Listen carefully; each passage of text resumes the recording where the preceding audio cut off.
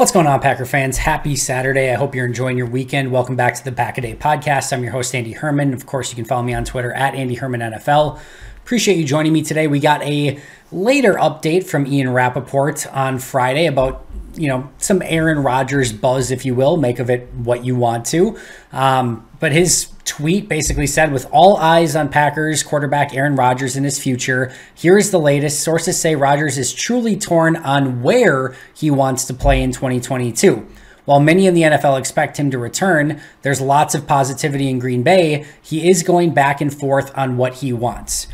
Now, tough to unpack all of this, right? Because, you know, we all sort of had the, you know, anonymous sources saga of 2021 that I think still is in the back of our mind. And it does still seem a bit odd to me that it's one thing if Aaron Rodgers was a free agent, right? And he's choosing where he wants to go. And Brian Gutekunst has already confirmed there's no guarantee that he gave Rodgers that he would trade him. Now, I still think if Rodgers said trade me, Green Bay would probably try to get something done. However, this is an offseason where Rod- Rodgers has basically waxed poetic about how amazing things have been in Green Bay, has talked glowingly about his coaches, the front office, his teammates.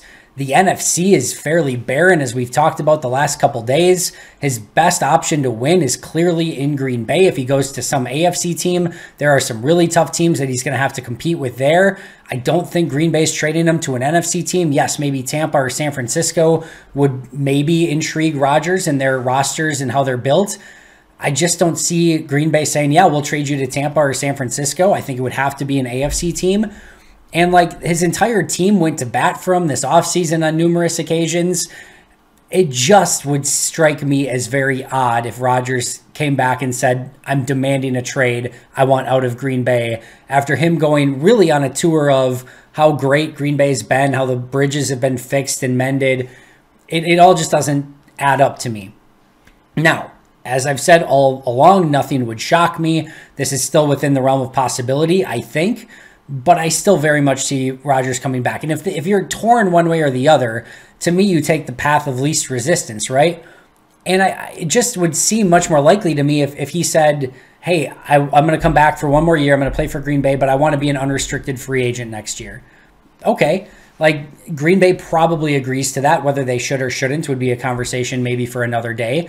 But Green Bay probably agrees to that and they get him back for another season, then he can choose next year on his own volition if he wants to go play for another team. And he would have free reign, right? He could go to Tampa, San Francisco, Chicago, Minnesota. That would be an option. Green Bay would probably sign off on that. Maybe they wouldn't, but uh, I think you could probably make it a, a, contract that Green Bay would basically have to get out of next season, and so on and so forth. And again, we're at the point where Rodgers can just threaten to retire if he doesn't get what he wants. So he he sort of has like a constant like trade chip anytime he wants, right? So I don't know. It still doesn't totally add up to me, and I still think the path of least resistance is likely what happens here.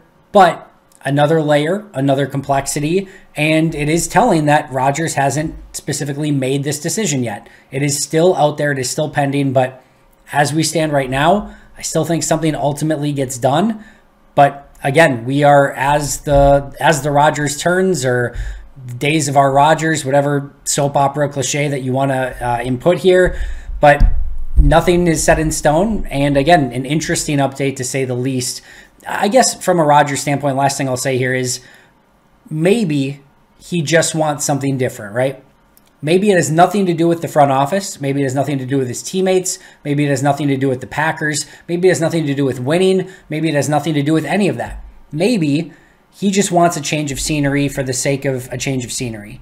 Maybe he saw Brady do it. Maybe he saw Manning do it. Maybe he saw Montana do it, whomever, right? And just said, Favre, I would like to maybe have maybe have two years left, and I'd just like to try something other than Green Bay. I did Green Bay for X amount of years, and I want to go somewhere else. I am fully hypothesizing here. I don't know this, but maybe that's the case, and maybe it has nothing to do with anything else and he just wants to change the scenery for the sake of doing something different with the last couple seasons of his career.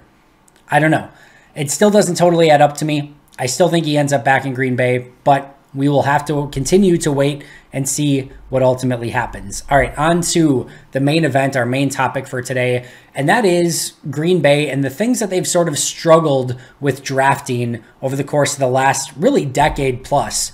We're now in full draft season. It's the NFL Combine. I wanted to take a look at some of the areas that, frankly, Green Bay just needs to do a much better job of evaluating and drafting as they start to, you know, really move on eventually past the Rodgers era, but really this is a major key draft for this team. And making sure that they get the best players possible that can help them win now is going to be paramount to their, their success this season. And if there's another all-in season next year same thing. And even if not right you need to start to rebuild with young explosive talent that can you know hopefully help you win in the long term as well. So here are five areas where I think Green Bay needs to do a much better job with moving forward. I'm going to start with inside linebackers. You may have noticed my tweet from yesterday. If so, you already know the names, but really here here are the last what 12 inside linebackers that Green Bay has drafted.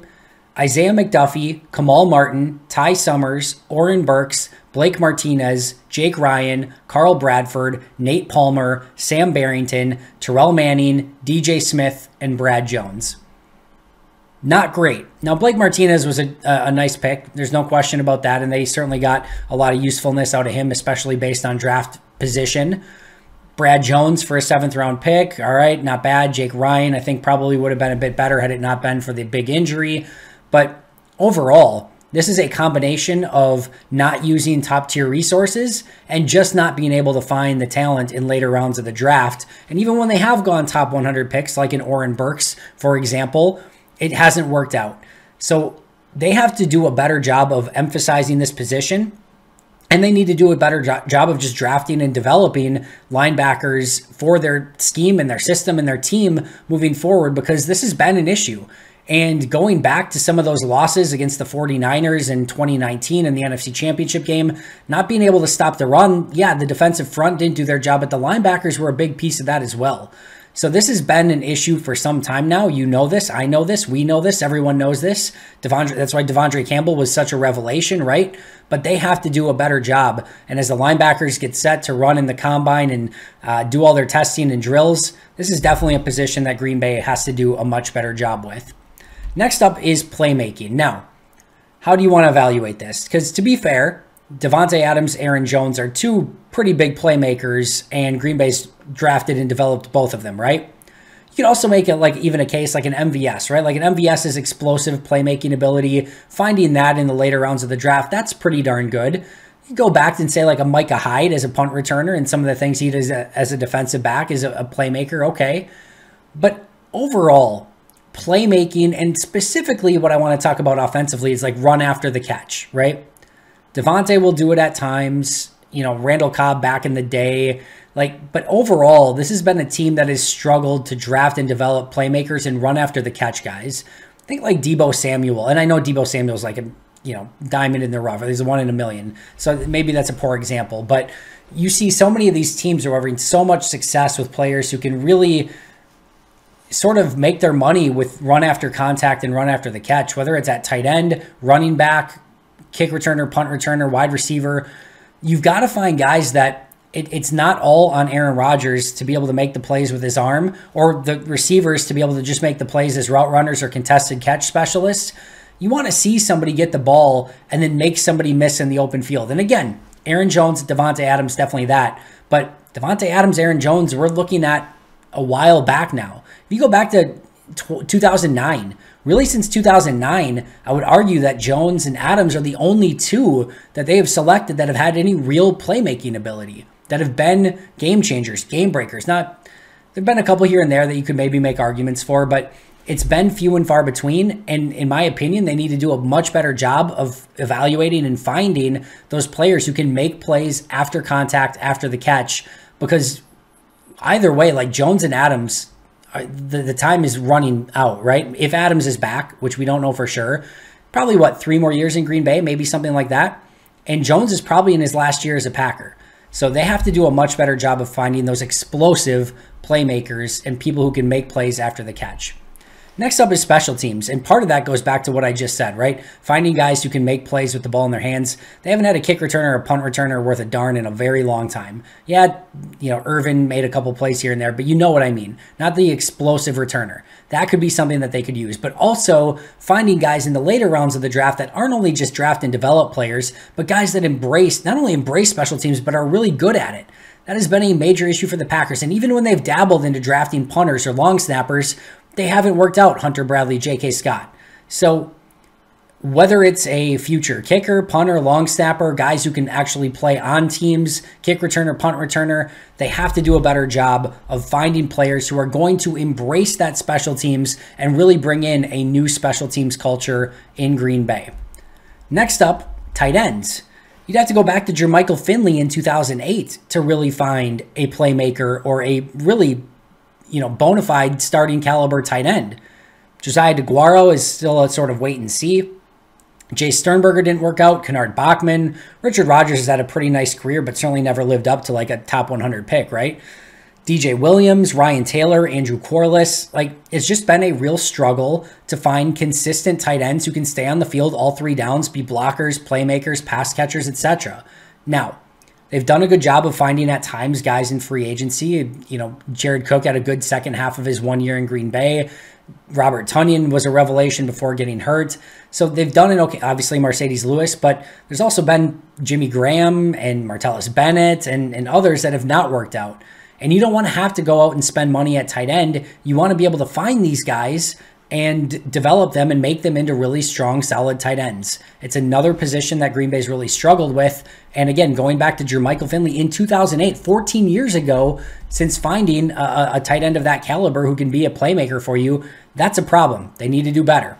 And then last but not least, third round picks. And you probably all know this by now, but here's their last 10 third round picks. Amari Rodgers, Josiah DeGuara, Jace Sternberger, Oren Burks, Montravius Adams, Kyler Fackrell, Ty Montgomery, Khyri Thornton, Richard Rodgers, Alex Green. Holy crap. If Kyler Fackrell is your best third round pick of your last 10 third round picks, something has gone incredibly wrong. They have to find a way to be better or just move the heck out of the third round or move that pick for a player or use it to move your second or first round pick up further but you have got to be better. These are top 100 selections. You are mostly in the draft making your hay in the top 100 selections in the draft. You cannot strike out in the third round that often with that amount of regularity. That is going to catch up with you at some point. And that's why you need to go out and sign big, expensive free agents, and your salary cap becomes an issue, and so on and so forth. So, third round picks have got to be much better for Green Bay, or it's going to continue to be a problem where they have to go out and sign players in free agency. Because think of it, right? If Amari Rodgers was a great slot receiver right now, they probably wouldn't have to go out and maybe try to bring back a Randall Cobb or go get a slot receiver this offseason. If Josiah DeGuara were a all-around tight end right now, again, problem solved. Same thing with Jace Sternberger, right? They should have two really good tight ends. They we're not even sure if they have one at this point.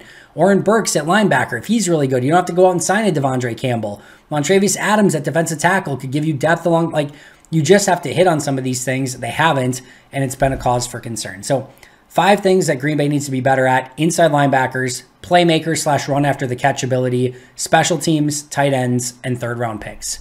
That's going to do it for me today. Thank you for joining me. I'll be right back here tomorrow with an all new episode. But until next time, and as always, go Pack Go.